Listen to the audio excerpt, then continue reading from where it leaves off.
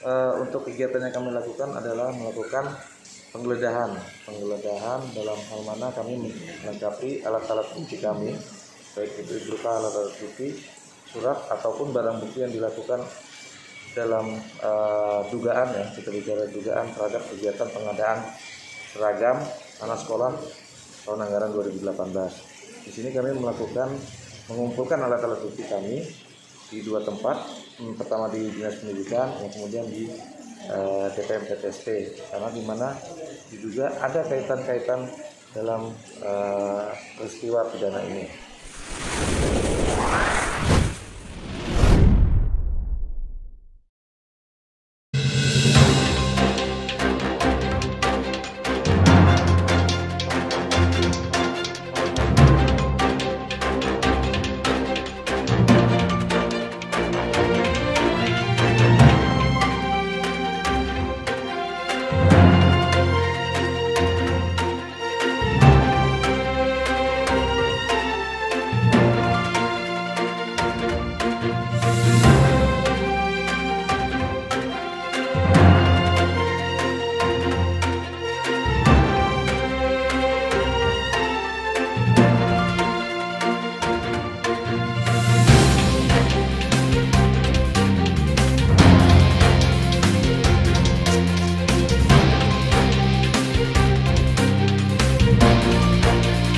Kantor Dinas Pendidikan dan Kebudayaan Kutai Barat digeledah oleh tim penyidik dari Kejaksaan Negeri Kutai Barat, Selasa, tanggal 21 September tahun 2021.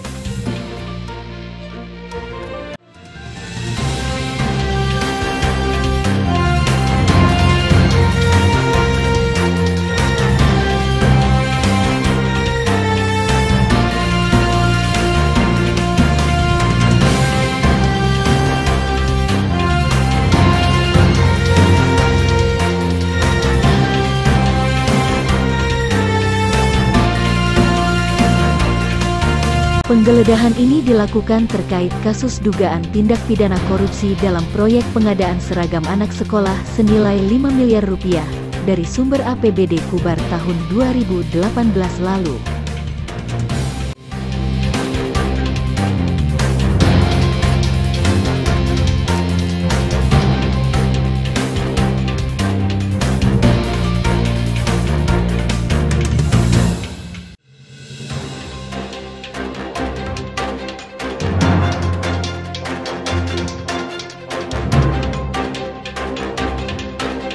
Penyidik mulai menggeledah kantor Dinas Pendidikan itu sejak pukul 13.30 siang, dipimpin oleh Kasih Khusus Kejari Kubar Iswan Nur didampingi Kasih Intel Riki Pangabean, beserta tim penyidik dan staf Kejari Kubar.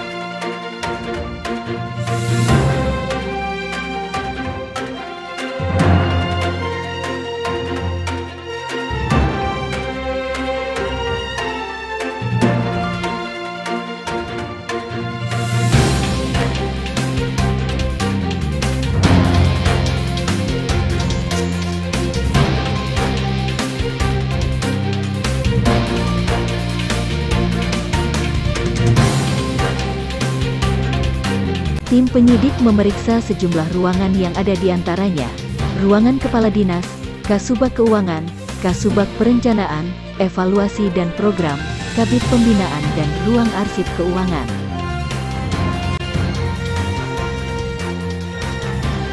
Tampak tim penyidik yang berbagi di sisi ruangan kantor dinas tersebut, langsung mencari berkas-berkas yang menyangkut proyek pengadaan seragam sekolah senilai 5 miliar rupiah.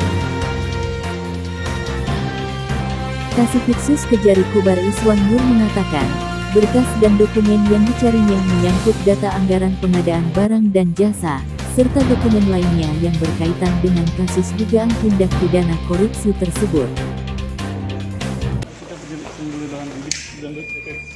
Ya, eh, makasih ya untuk teman-teman rekan-rekan media sekarang.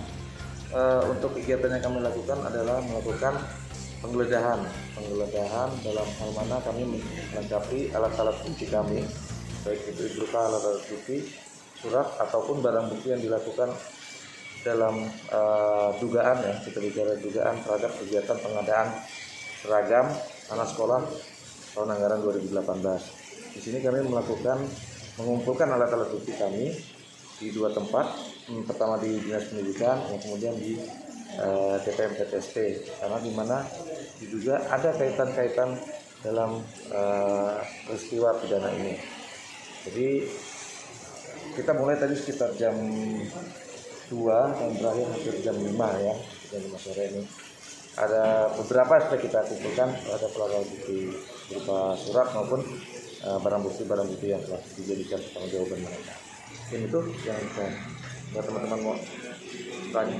Tadi Pak terkait ada bangsa eh, cari berkasnya sudah lama itu Pak tahun 2018 dan saya ini pejabat baru. Bagaimana Pak, upaya hukum itu? Oh, enggak, itu mungkin karena ada miss saja. Eh, karena eh, di dinas ini ada pergantian eh, pejabat ya eh, itu. Jadi mungkin tidak perlu saya sebutkan namanya. Eh, karena eh, dia merasa karena baru jadi tidak mengetahui terhadap dokumen. Tetapi karena setelah saya menjelaskan bahwa itu merupakan satu tanggung jawab dari perjabatan untuk ya mohon dicarikan untuk eh, tahun sebelumnya. Jadi tidak ada upaya penghilangan barang bukti? gitu? Enggak, enggak, enggak. Tidak, Tidak, ada tidak, tidak ada, tidak ada namanya mengendaraan. Ruangan yang digeledah? Untuk kita melakukan penggeledahan ini di karena ini mata anggarannya masuk di bagian umum, jadi kita di bagian umum pada Dinas Pendidikan Kabupaten Kutai Barat. Karena itulah tempat eh, item apa anggaran yang dilaksanakan.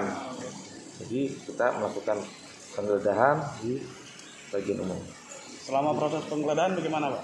Yang bersangkutan kooperatif dari teman-teman di dinas pendidikan maupun di DPM PTSP kooperatif dan membantu dalam proses eh, pengumpulan alat-alat bukti kami.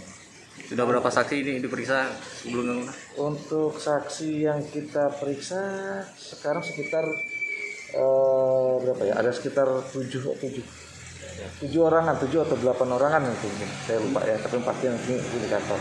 Tujuh orang itu PNS Kak, Pak? Ada PNS, ada yang non PNS. Itu ya. orang itu dinas mananya Pak? Ya, yang keterkaitan ini ya pastilah dari dinas pendidikan kan terhadap pengadaan ini dan eh, pelaksana pelaksananya kan seperti itu. Apakah sudah mengarah kepada tersangka? Untuk penetapan tersangka belum. Kita harus eh, berdasarkan dari eh, perhitungan kerugian negara dulu ya untuk jelas karena kami dari Kejaksaan Negeri Kutai Barat ini tidak mau menzolimi orang. Kita harus berdasarkan bukti-bukti yang cukup baru kita tetapkan tersangka. Nah, Pak dari tadi ke dinas perizinan terpadu kaitan Pak dengan Ada keterkaitannya dari DPM PTSP ini dalam hal proses sebenarnya. Proses-proses bagaimana ya saya mungkin belum bisa menjelaskan sekarang tetapi ada keterkaitan dari kegiatan-kegiatan ini. Oh, arti dari dari pengadaan Pak ya? ya mungkin dari pengadaannya itu semua. Pak, setelah penggeledahannya proses apa selanjutnya Pak? Apakah panggil saksi lagi? kami kemungkinan akan melengkapi keterangan saksi-saksi lain di BAP kita akan mem-BAP ya. Kemudian setelah itu kami akan melakukan ekspos di ahli. Karena untuk memerlukan ahli kita harus melengkapi semua alat-alat bukti dulu jadi sambil menunggu Ah, Pak jedanya Pak kira-kira Pak mulai hari ini ya dilakukan eh, pem- penggeledahan sampai berapa lama kira-kira ada penetapan tersangka Pak? proses ya itu ya. Nah kalau kita bisa penetapan tersangka, kita kembali lagi. Kita maunya cepat gitu, tetapi apakah nanti dari ahli perhitungan kerugian negara itu nanti cepat pula, ya berarti cepat juga. Mungkin seperti itu. Tapi kita berupaya kalau bisa secepatnya untuk kita lakukan. Oke. Ahli dari mana Pak? Ahli ya nanti ya kemungkinan ya kemungkinan kemungkinan bisa dari BPK atau BPKP itu ya antara dua itu yang kita kita melakukan perhitungan kerugian negara. Ah, Pak keterkaitannya Pak karena pernah sudah pernah di hasil dari audit dari BPK Kaltim Pak. Ah, kemudian nanti ahlinya tetap diambil dari BPK juga Pak. ya? Nanti kita akan melakukan ekspos dulu. Kami ada pimpinan ya. Apakah pimpinan nanti mengarah langsung ke BPK atau ke instansi yang lain? Itu kita akan kembalikan kepada kebijakan dari pimpinan. Oke.